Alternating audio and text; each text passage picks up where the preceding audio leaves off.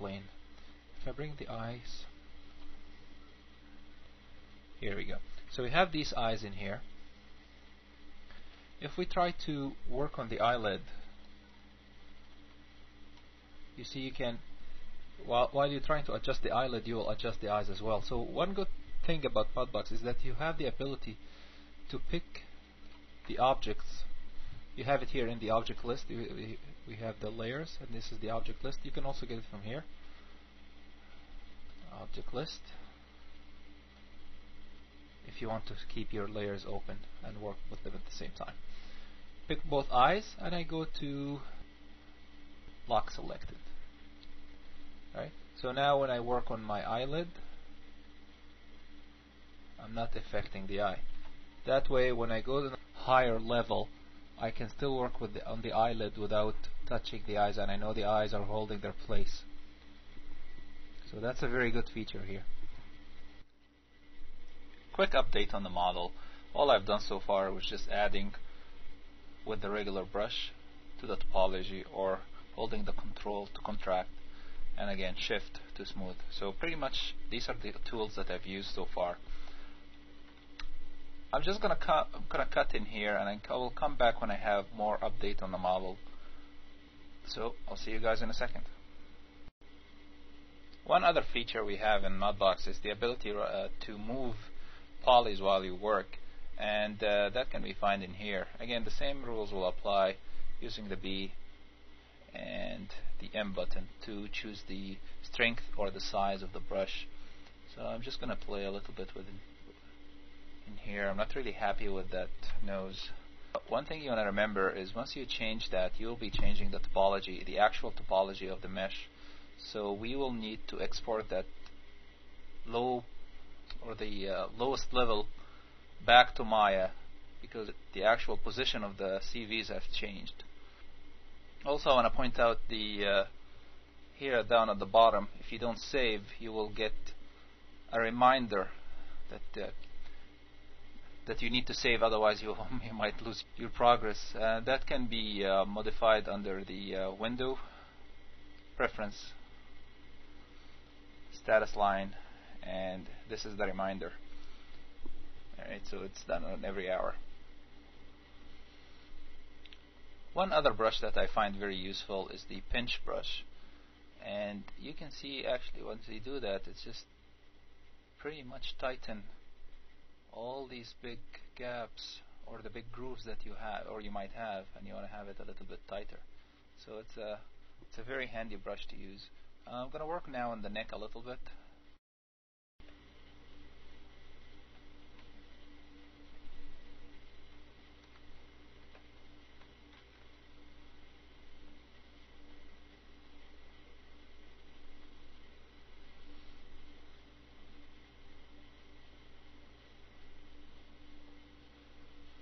very loosely here, I'm brushing around. I want to get that neck muscles.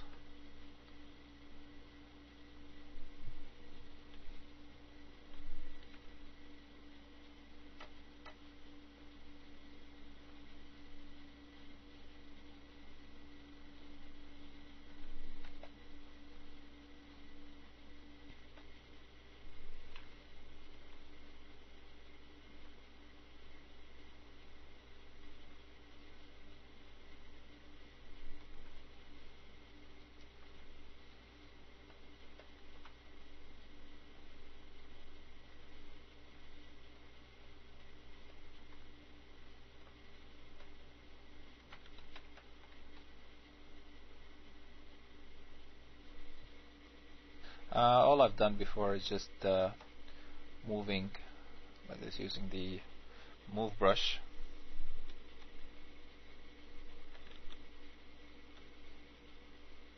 Just to get that skin fold. And uh, I use the, uh, the pinch brush as well. So what I'm gonna do right now I'm just gonna drop the level to the first one. And I will add a new layer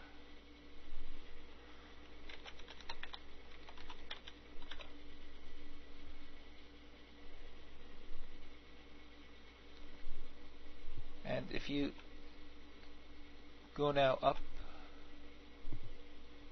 you can start sculpting that new layer. You'll see here, for example.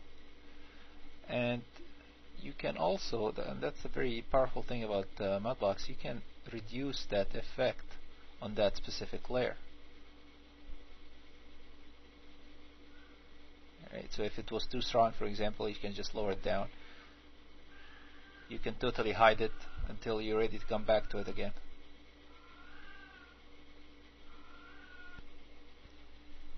I'm now just going to add the skin, uh, or actually the skin folds here.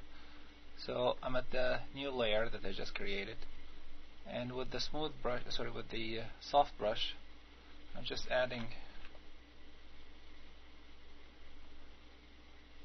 just definitions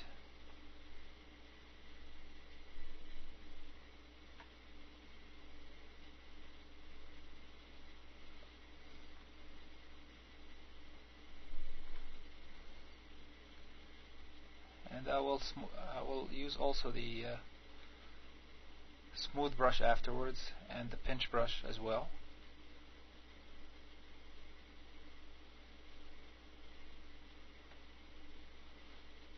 that's enough just to demonstrate what I was going to do.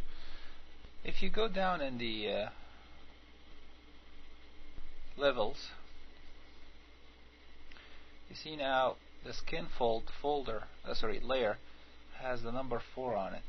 Because if I try to brush I'll get an error at the bottom here says, saying this layer is currently locked at level 4 because we worked on it while at level 4 so you, you need to make sure that you are at the proper level that you work with especially when you add layers.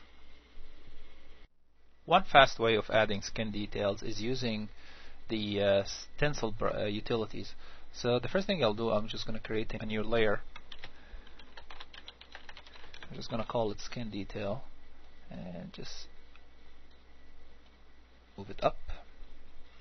Go to my image browser and just navigate through your folders and found the images that you might want to use as a stencil. These are a bunch of images that I found on the web and I just manipulated them in Photoshop to increase the, the values between black and white. For example, I'm just going to use the skin and use this button here to set a stencil. Once you go to the 3D view, you'll see that image is waiting for you there. If you go to the advanced section of that uh, stencil properties, actually it can be also found in here, stencil. You can dock it on the left if you want.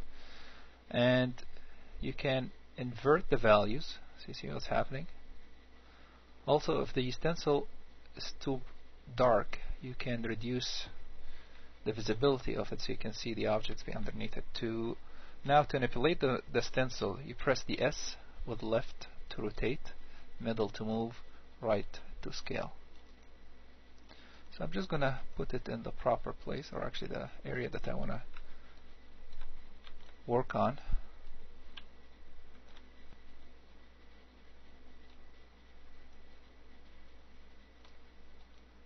Just want a closer look in here.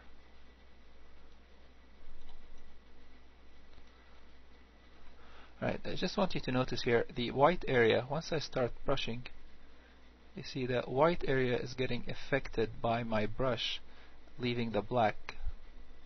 And this is the beauty of a stencil. You can use it really quickly to add some details to your mesh. So I, in this case, I want to invert the values because I want this is the one to be affected?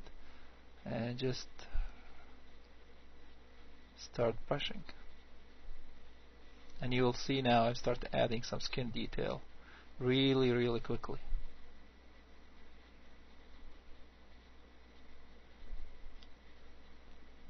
Once you're done you can move the stencil a little bit and you start brushing more. You can also go back to invert the value and invert the function of the brush itself. So you can see I'm adding more definition to these pores. Once you're done, you can turn the stencil off and you start working again on your mesh.